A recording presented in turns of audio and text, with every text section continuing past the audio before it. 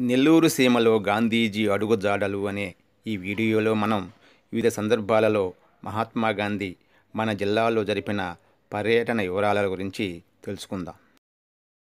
మహాత్మా గాంధీ నాయకత్వంలో సత్యము అహింసలే ఆధారంగా సత్యాగ్రహ పద్ధతిలో జరిగిన భారత స్వతంత్రోద్యమానికి ఇరవయో శతాబ్దపు చరిత్రలో విశిష్ట స్థానం ఉన్నది. ప్రజానాయకుడుగా ఉద్యమకారుడుగా మహాత్ముడు మన దేశంలో విస్తృతంగా పర్యటించారు. స్వాతంత్రోద్యమ కాలంలో వివిధ సందర్భాలలో నెల్లూరు జిల్లాలో గాంధీజీ జరిపిన పర్యటన వివరాలను మనం ఇప్పుడు తెలుసుకున్నాం మహాత్ముడు దక్షిణాఫ్రికాలో తెల్లవారి జాతి వివక్షతకు వ్యతిరేకంగా భారతీయుల హక్కుల కోసం సత్యాగ్రహ పద్ధతిలో ఉద్యమం చేసి విజయం సాధించారు. పంతొమ్మిది వందల పదిహేనులో గాంధీజీ భారతదేశానికి తిరిగి వచ్చారు. దేశ కాల పరిస్థితులు తెలుసుకునేందుకు గాంధీజీ దేశమంతా విస్తృతంగా పర్యటించారు. ఈ సమయంలోనే భారతీయుల స్వయం పాలన కోసం తిలక్ అనిబేషన్ నాయకత్వంలో హోమ్ రూల్ ఉద్యమాలు జరుగుతున్నాయి. పంతొమ్మిది వందల పదిహేను మే నాలుగవ తేదీన మద్రాసు రాష్ట్రీయ మహాసభలు నెల్లూరు నగరంలో జరిగాయి. నెల్లూరు పురమందిరంలో జరిగిన ఈ సభలకు గాంధీజీ దంపతులు ముఖ్య అతిథులుగా హాజరయ్యారు. అనిబీసెంట్ దేశభక్త కొండా వెంకటప్పయ్య ముట్నూరు కృష్ణారావు న్యాపతి సుబ్బారావు కాశీనాథుని నాగేశ్వరరావు వంటి నాయకులు ఈ సమావేశాలలో పాల్గొన్నారు. పంతొమ్మిది వందల పదిహేనులో గాంధీజీ నెల్లూరుకి వచ్చిన ఈ సందర్భంలో అప్పటి నెల్లూరు జిల్లా కలెక్టర్ దివాన్ బహదూర్ ఆర్. రామచంద్రరావు గారి ఇంట్లో గాంధీజీ బస చేశారు. రామచంద్రరావు గారు ఉదార భావాలు గల దేశభక్తుడు. గాంధీజీ వంటి తిరుగుబాటుదారునికి ఆతిథ్యమిచ్చినందుకు అప్పటి ఆంగ్ల ప్రభుత్వం వారిని సంజాయిషి అడిగింది. దేశభక్త కొండా వెంకటప్పయ్య పంతొమ్మిది వందల పదిహేనులో నెల్లూరులో గాంధీజీతో తనకు కలిగిన తొలి పరిచయాన్ని ఈ విధంగా వివరించారు. ఆయన నెల్లూరుకు మద్రాసు నుండి వచ్చి అక్కడి జిల్లా కలెక్టర్ అతిథిగా ఉన్నారు. నేను కొంతమంది స్నేహితులము కలిసి ఒకనాటి ఉదయము ఆయనను చూడడానికి వెళ్ళినాము. అప్పుడు ఆయన కాలి నడకన బయటకు వెళ్ళినారు. కొన్ని నిమిషములు బసకు వచ్చినారు. ఆయన ఒక అంగవస్త్రము కురసు చేతులు గల ఒక బనియను మాత్రం ధరించి ఉన్నారు. తలపైన ఏమీ లేదు. ఆయన చేతిలో ఒక చిన్న కర్ర ఉన్నది. అది నాగరికులు పుచ్చుకునే అందమైన కర్ర కాదు. ఒక చన్నని వెదురు కర్ర. ఆ రూపములో ఆయనను చూచి ఆశ్చర్య చిగుతులమైనాము ఆయన జీవితము అత్యంత నిరాడంబరమైనదని ఆ ప్రథమ వీక్షణంలోనే మాకు అర్థమైనది. పరస్పర ప్రమాణాల అనంతరం ఆయన చుట్టూ చూసి మమ్మలను కూర్చునమనేందుకు తగిన ఆసనం లేక భూదేవి మనలను అందరినీ నేల మీద కూర్చోమని ఆహ్వానిస్తున్నది అని ఆయనే ముందుగా ఒట్టి నేల మీద కూర్చున్నారు. మేమందరం ఆయనతో పాటే నేల మీద సతికిలబడ్డాము ఈ సందర్భంలో మేము గాంధీజీతో ప్రత్యేక ఆంధ్ర ఉద్యమం గురించి ఆంధ్ర రాష్ట్ర నిర్మాణాన్ని గురించి ముచ్చటించాము. ఈ విధంగా స్వాతంత్రోద్యమంలో కీలక భూమిక పోషించిన ఆంధ్ర నాయకులకు గాంధీజీకి ప్రథమ పరిచయం నెల్లూరులోనే జరిగింది. రౌలత్ చట్టానికి జిలేన్ వాలాబాగ్ దుర్ఘటనకు నిరసనగా మహాత్మా గాంధీ పంతొమ్మిది వందల పంతొమ్మిది ఏప్రిల్ ఆరవ తేదీన సహాయ నిరాకరణ ఉద్యమాన్ని ప్రారంభించారు. పంతొమ్మిది వందల ఇరవై ఒకటవ సంవత్సరంలో మహాత్మా గాంధీ ఆంధ్ర రాష్ట్రంలో విస్తృతంగా పర్యటించారు. ఈ పర్యటనలో భాగంగా గాంధీజీ దంపతులు దేశభక్త కొండ వెంకటప్పయ్యతో కలిసి ఏప్రిల్ ఏడవ తేదీన నెల్లూరుకు వచ్చారు. నెల్లూరు రైల్వే స్టేషన్లో వీరికి ఘన స్వాగతం లభించింది. అక్కడి నుండి వారు పల్లిపాడుకు వెళ్ళారు. నెల్లూరులో తిక్కవరపు రామిరెడ్డి ఓరుగంటి వెంకట సుబ్బయ్య గారు స్థాపించిన తిలక్ విద్యాలయాన్ని ప్రారంభించారు. రేబాల లక్ష్మీ నర్సారెడ్డి టౌన్ హాల్లో జరిగిన మహిళా సభలో ఉపన్యసించారు. ఈ సభలో ఐదు వేల మంది మహిళలు పాల్గొన్నారు. ఈ మహిళలంతా తమ నగలను నగదును తిలక్ స్వరాజ్య నిధికి గాంధీజీకి విరాళంగా ఇచ్చారు. తర్వాత వెంకటగిరి రాజా కళాశాలలో బహిరంగ సభ జరిగింది. పదివేలకు మందికి పైగా ప్రజలు ఈ సభకు హాజరయ్యారు. హిందువులు ముస్లింలు ఐకమత్యంతో ఉండాలని ప్రజలందరూ జాతీయ కాంగ్రెస్లో సభ్యులుగా చేరాలని ప్రతి ఇంటా రాట్నం ఉండాలని గాంధీజీ పిలుపునిచ్చారు. చెరుకువాడ వెంకట నరసింహం గారు గాంధీజీ ఉపన్యాసాన్ని తెలుగులోకి అనువదించారు. ఆ రోజు రాత్రి గాంధీజీ రంగనాయకుల స్వామి గుడికి వెళ్ళి స్వామివారిని దర్శించారు. పంతొమ్మిది వందల ఇరవై తొమ్మిదిలో గాంధీజీ ఆంధ్ర రాష్ట్రంలో మరొకసారి విస్తృతంగా పర్యటించారు. ఈ పర్యటనలో భాగంగా మే పదవ తేదీన ఆయన నెల్లూరుకు వచ్చారు. కలకత్తా మేలు నుండి ఉదయం ఐదు గంటలకు గాంధీజీ నెల్లూరు రైల్వే స్టేషన్లో దిగారు. గాంధీజీ బృందము నెల్లూరు రైల్వే స్టేషన్ నుండి నేరుగా బుచ్చిరెడ్డిపాలెం గ్రామానికి వెళ్ళారు. తెల్లవారుజాము నుండి పరిసర గ్రామాల నుండి కొన్ని వేల మంది జనం బుచ్చిరెడ్డిపాలెంలో గాంధీ రాక కోసం ఎదురు చూస్తున్నారు బుచ్చిరెడ్డిపాలెంలో జరిగిన సభలో ప్రజలు గాంధీజీకి ఏడు వేల రూపాయలు విరాళంగా అందజేశారు. సభ తర్వాత బుచ్చిరెడ్డిపాలెనికి ఆరు మైళ్ళ దూరంలో ఉన్న ఎల్లాయపాలెనికి గాంధీజీ వెళ్ళారు. తోవలో రాజుపాలెంలో కోవూరు కోఆపరేటివ్ యూనియన్ వారు గండవరం గ్రామస్తులు గాంధీజీకి మొత్తం ఎనిమిది వందల రూపాయలు ఖాదీ నిధికై విరాళంగా ఇచ్చారు. తర్వాత పార్లపల్లి వెళ్ళారు. పార్లపల్లి ఎడవలూరులో ఖాదీ నిధికి ఆరు వందల రూపాయల విరాళాలు వచ్చాయి. ఊటుకూరు గ్రామంలో వెయ్యిన్ని నూట పదహారు రూపాయలు విరాళంగా వచ్చాయి. గాంధీజీ రాక కోసం ఊటుకూరు గ్రామంలో పెద్ద ఎత్తున ప్రజలు గుమికూడారు. తర్వాత గాంధీజీ బృందం మోపూరు గ్రామానికి వెళ్ళారు. ఆ రోజు రాత్రి మోపూరు గ్రామంలో బస చేశారు. రేబాల సుందర్రామిరెడ్డి గారు ఖద్దరి నిధి కోసం ఇచ్చిన వెయ్యిన్ని నూట పదహారుల రూపాయలను గాంధీజీ స్వీకరించారు. గాంధీజీ మోపూరు నుండి అల్లూరుకు వెళ్ళారు. అల్లూరులో జరిగిన సభకు పదివేలకు మందికి పైగా ప్రజలు హాజరయ్యారు. అల్లూరులో మారంరెడ్డి రామరెడ్డి సతీమణి నూట పదహారు రూపాయలు గ్రామస్తులు వెయ్యి నూట పదహారు రూపాయలు ఖద్దరు నిధికి విరాళంగా ఇచ్చారు. తాగుడు మానివేయాలని ఖద్దరు ధరించాలని హిందువులు ముస్లింలు ఐకమత్యంగా ఉండాలని అస్పృశ్యతను నివారించాలని గాంధీజీ ప్రజలకు పిలుపునిచ్చారు. అల్లూరు నుండి గాంధీజీ బృందం కావలికి వెళ్ళింది. కావలిలో దేశభక్త రంగయ్య గారి ఐదేళ్ళ కుమారుడు తాను స్వయంగా వడికిన నూలును గాంధీజీకి కానుకగా ఇచ్చాడు.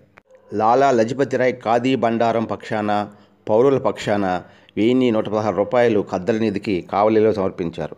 ఆ ఖాదీ బండారాధిపతులు ప్రత్యేకంగా మరొక యాభై రూపాయలను తాము నేయించిన బట్టల జతలు గాంధీజీకి సమర్పించారు. శ్రీమతి కస్తూరుబాకు ఒక చీరనిచ్చి సత్కరించారు.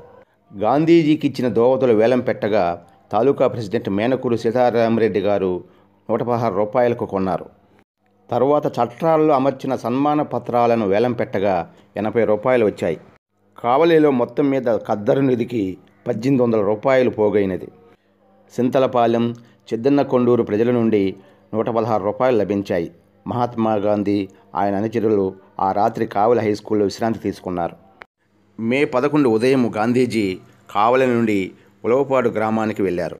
మే పదకొండు రాత్రి గాంధీజీ పల్లిపాడు ఆశ్రమంలో విశ్రమించి ఆ మరునాడు ఉదయము గంగపట్నం మైపాడు గ్రామాలకు వెళ్ళాడు. ఈ గ్రామాలకు బయలుదేరే ముందు గాంధీజీ ఆశ్రమంలో జరిగిన బహిరంగ సభలో ఉపన్యసించారు. ప్రజలు ఆరు వందల నలభై రూపాయలు ఖద్దరు నిధికి విరాళంగా ఇచ్చారు. మైపాడు చుట్టుపక్కల ఉన్న గ్రామాలు వెంకన్నపాలెము కోడూరు కోరుటూరు మొదలైన గ్రామాల నుండి ప్రజలు గాంధీజీకి విరాళం ఇచ్చారు. ముప్పై రూపాయలు యాభై ఏడు రూపాయలు నలభై ఏడు రూపాయలు ముప్పై రూపాయలు వీరిచ్చిన విరాళాలు. మే పన్నెండు ఉదయము గాంధీజీ వారి బృందము మోటారులో సంఘం వెళ్ళి నూట పదహారు రూపాయల విరాళం సేకరించి తిరిగి నెల్లూరుకు చేరుకున్నారు. పంతొమ్మిది వందల ఇరవై తొమ్మిది మే నెల పన్నెండు సాయంత్రము గాంధీజీ నెల్లూరు పట్టణంలో కస్తూర్బా బాలికల విద్యాలయానికి పునాది రాయి వేశారు. ఆ రోజు వెంకటగిరి రాజా కళాశాలలో జరిగిన బహిరంగ సభలో పాల్గొన్నారు. ఇందుకూరుపేట మీదుగా నెల్లూరుకు వచ్చే సమయంలో ఇందుకూరుపేట కోఆపరేటివ్ యూనియన్ వారు ముప్పై ఐదు రూపాయలు పౌరులు సమిష్టిగా నూట యాభై ఒక్క రూపాయలు గాంధీజీకి సమర్పించారు. నెల్లూరు మున్సిపాలిటీ వారు వెంకటగిరి రాజా కళాశాల హాలులో ఒడుకునూలు ప్రదర్శన ఏర్పాటు చేశారు. కస్తూర్బా విద్యా సంస్థ నడుస్తున్న చోటనే దాని భవన నిర్మాణానికి గాంధీజీ పునాదిరాయి వేసినారు. ఈ సమయంలో సమావేశమైన వారి ఎదుట గాంధీజీ ఉపన్యసించారు. ఆ విద్యాలయ సంస్థాపకురాలైన శ్రీమతి పునక కనకమ్మ గారిని గాంధీజీ అభినందిస్తూ సంస్థ చిరస్థాయిగా వర్ధిల్లాలని ఆశీర్వదించారు. పునక కనకమ్మ గారు గాంధీజీకి సంస్థ తరపున రెండు వందల ఎనభై ఒక్క రూపాయలు విరాళంగా ఇచ్చారు. తర్వాత గాంధీజీ వెంకటగిరి రాజా కళాశాలలో జరిగిన బహిరంగ సభలో పాల్గొన్నారు.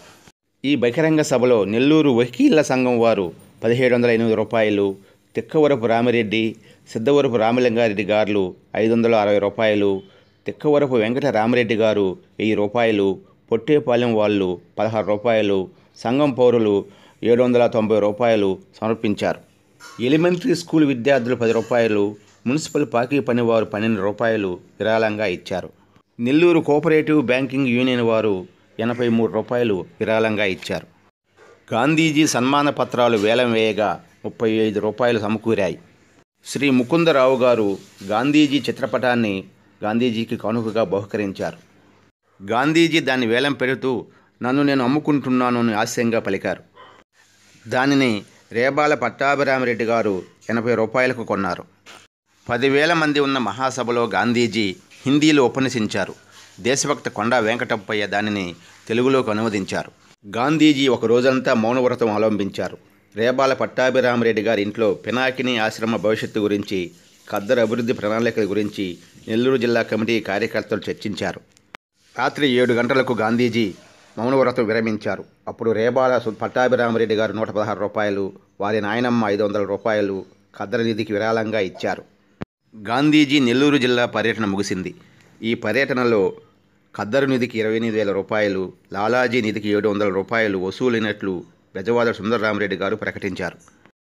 ఈ సందర్భంగా నెల్లూరు జిల్లా పల్లిపాడు గ్రామంలో ఉన్న పినాకిని సత్యాగ్రహ ఆశ్రమం గురించి కొన్ని విషయాలు తెలుసుకోవాలి. ఆంధ్ర రాష్ట్రంలో స్థాపించబడిన సత్యాగ్రహ ఆశ్రమాల్లో పినాకిని సత్యాగ్రహ ఆశ్రమం మొట్టమొదటిగా చెప్పవచ్చు. శబర్మతి సత్యాగ్రహ ఆశ్రమ పద్ధతులను అనుసరించి ఈ ఆశ్రమం స్థాపించబడింది. పంతొమ్మిది వందల పదిహేనులో దక్షిణాఫ్రికా నుండి మహాత్మా గాంధీ ఇండియాకు తిరిగి వచ్చినప్పుడు మద్రాసు నగరంలో నెల్లూరు జిల్లాకు చెందిన దిగుమర్తి హనుమంతరావు గారు ఆయనను కలుసుకున్నారు. గాంధీజీ ప్రభావంతో దిగుమర్తి హనుమంతరావు గారు శబర్మతి ఆశ్రమంలో చేరారు. పల్లిపాడు గ్రామ వాస్తవ్యులు చతుర్వేదుల వెంకట కృష్ణయ్య గారు కూడా శబరిమతి ఆశ్రమంలో చేరారు. సత్యాగ్రహ సిద్ధాంతాన్ని దేశమంతా ప్రచారం చేసేందుకు శబరిమతి ఆశ్రమ పద్ధతిలో ఆంధ్ర రాష్ట్రంలో ఒక- ఆశ్రమాన్ని స్థాపించవలసిందిగా గాంధీజీ వీరికి సూచించారు. వారిరువురు వెంకటకృష్ణయ్య గారి సొంత ఊరైన పల్లెపాడులో నిరంతరం ప్రవహించే పెన్నా నది ఒడ్డున ఆశ్రమాన్ని స్థాపించాలని భావించారు. హనుమంతరావుతో పరిచయం ఉన్న కొంతమంది గుజరాతీ స్నేహితులు ఆశ్రమ నిర్మాణానికి కావలసిన ఆర్థిక సహాయాన్ని అందించేందుకు అంగీకరించారు. ఆశ్రమంలో పాకలు వేసేందుకు నూలు బట్టలు ఉడికేందుకు బట్టలు నేసేందుకు తగిన వసతులు కల్పించడానికి భారత జాతీయ కాంగ్రెస్ ద్వారా పదివేల రూపాయలు విరాళంగా ఇప్పించారు. ఈ సొమ్ముతో పది ఎకరాల భూమిని పినాకిని ఒడ్డున కొనడం పాకలు వేయడం జరిగింది. తర్వాత గాంధీజీ ఆంధ్ర రాష్ట్ర పర్యటన సందర్భంలో పంతొమ్మిది వందల ఇరవై ఒకటి ఫిబ్రవరి ఏడవ తేదీన ఈ ఆశ్రమాన్ని ప్రారంభించారు. ఆశ్రమంలో ఖాదీ ఉత్పత్తి అస్పృశ్యత నివారణ వ్యవసాయము హిందీ ప్రచారము వయోజన విద్య మత సామరస్యము ప్రకృతి వైద్యము మొదలైన నిర్మాణ కార్యక్రమాలు నిర్వహించడం ఆశ్రమవాసుల కర్తవ్యంగా నిర్ణయించడం జరిగింది. పంతొమ్మిది వందల ఇరవై ఆరులో దిగుమర్తి హనుమంతరావు గారు చిన్న వయసులోనే సరగస్తులయ్యారు వెంకటకృష్ణయ్య గారు పుదుచ్చేరిలోని అరవింద్ ఆశ్రమానికి వెళ్ళిపోయారు. దీంతో గాంధీజీ ఆశ్రమ పర్యవేక్షణ బాధ్యతలను దేశభక్త కొండా వెంకటప్పయ్య గారికి అప్పగించారు. కొండా వెంకటప్పయ్య ఆదేశాల మేరకు కాంగ్రెస్ వాది దేశభక్తుడు శ్రీ ఓరుగంటి వెంకట సుబ్బయ్య గారు ఆశ్రమ పర్యవేక్షణ బాధ్యతలు స్వీకరించారు.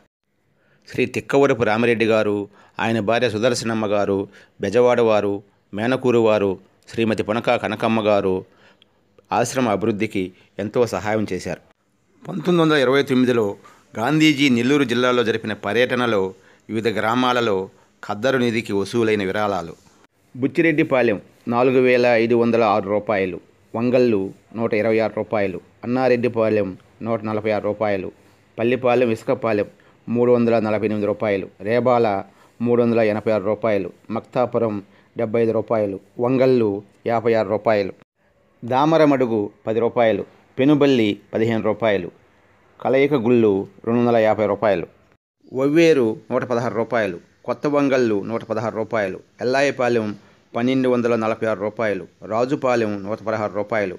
గండవరం మూడు వందల రూపాయలు. పెదపుట్టేడు రెండు వందల ఎనిమిది రూపాయలు. కోవూరు నూట పదహారు రూపాయలు. పార్లపల్లి రెండు వందల తొంభై ఆరు రూపాయలు. ఎడవలూరు నాలుగు వందల రూపాయలు. ఊటుకూరు వెయ్యిన్ని పదకొండు వందల ఇరవై ఏడు రూపాయలు. మోపూరు పదకొండు వందల ముప్పై ఆరు రూపాయలు. అల్లూరు పన్నెండు వందల తొంభై ఆరు రూపాయలు. కావలి పదిహేడు వందల ఆరు రూపాయలు. ఉలవపాడు ఐదు వందల యాభై ఎనిమిది రూపాయలు. కందుకూరు పదమూడు వందల నలభై మూడు రూపాయలు. పామూరు ఏడు వందల పదిహేడు రూపాయలు. అప్పట్లో ఇవన్నీ నెల్లూరు జిల్లాలో భాగంగా ఉండేవి. సీతారాంపురం పదిహేను రూపాయలు. ఎలమర్రు ఒక రూపాయి. పెరమన నూట పదహారు రూపాయలు. సంఘం ఏడు వందల డెబ్బై ఆరు రూపాయలు. పల్లెపాడు ఏడు వందల ముప్పై ఒక్క రూపాయి. గంగపట్నం ఆరు వందల నలభై రూపాయలు. మైపాడు ఏడు వందల యాభై రెండు రూపాయలు.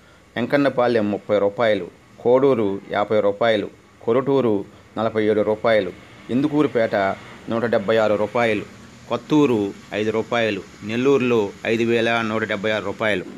పొట్టేపాలెంలో వెయ్యి నూట పదహారు రూపాయలు పోట్లపూడి గ్రామంలో డెబ్బై రూపాయలు గూడూరులో ఏడు వందల ముప్పై నాలుగు రూపాయలు తుమ్మూరులో యాభై రూపాయలు నాయుడుపేటలో ఆరు వందల యాభై ఐదు రూపాయలు అత్తివరంలో నూట పదహారు రూపాయలు నిరిముసలిలో యాభై రూపాయలు.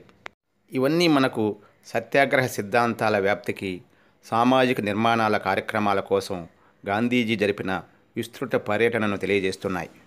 ఇప్పటి వరకు మనం పంతొమ్మిది వందల పదిహేడు నుండి పంతొమ్మిది వందల ఇరవై తొమ్మిది వరకు గాంధీజీ నెల్లూరు జిల్లాలో జరిపిన విశేష పర్యటనలు వారి అడుగుజాడల గురించి తెలుసుకున్నాం.